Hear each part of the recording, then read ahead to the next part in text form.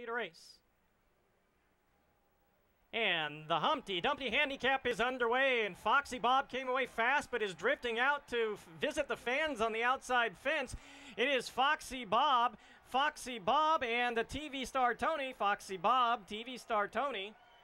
Then Jess Mess and Frank the Bank.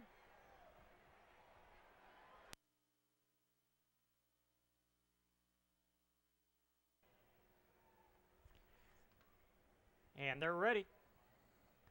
And they're off and running in the black and white striped stakes. And uh, Zeiss Enriquez and Super Sean out. Zeiss Enriquez, Super Sean, then Green with Envy. Zal trying to come on fast. And the Super Sean, Zal closing fast, bucking a little bit. And then we go back to Green with Envy, who just kind of petered out there and never really involved, unfortunately, was Clocker Raj. Was there running.